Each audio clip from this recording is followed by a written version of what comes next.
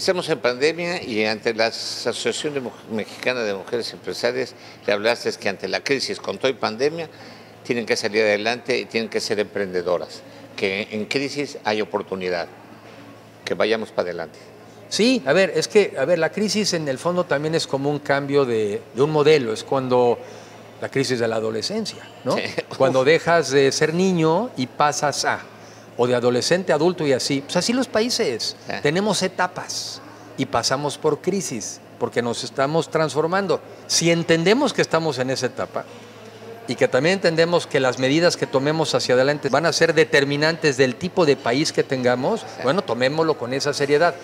Y sí creo que es la oportunidad para a partir de aquí ponernos una meta más ambiciosa, ser un país de clases medias consolidadas. Te han candidateado para la presidencia.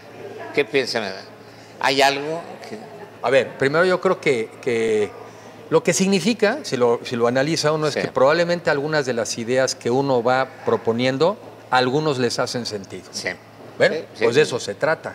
O sea, yo lo que hago es tratar de ir generando ideas y propuestas de cómo sí podemos salir de nuestros problemas. Y esa es la etapa en la que estoy. Y yo creo que los dos próximos años son eso. Y es ir probando esas ideas, este, ver si, si son las que a la gente les hace sentido o si incluso hay que explicarlas mejor, porque yo creo que son las que tienen que ser. ¿Cómo no va a ser que queremos ser un país donde todos seamos de las clases medias?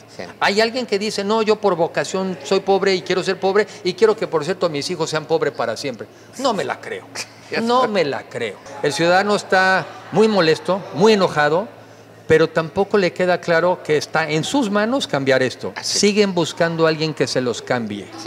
Si quieres que las cosas cambien, Empieza cambiando pues tú. Sí, veo, hasta el Dalai Lama por ahí empieza, es tan sencillito, o sea, sencillo, complejo. ¿Quieres cambiar el mundo? Empiezas cambiando tú.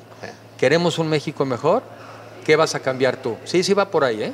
En cambio hay otros que te proponen, tú no hagas nada, yo te lo voy a resolver. Nada más dame todo el poder que yo te lo voy a resolver. No compro esa tampoco.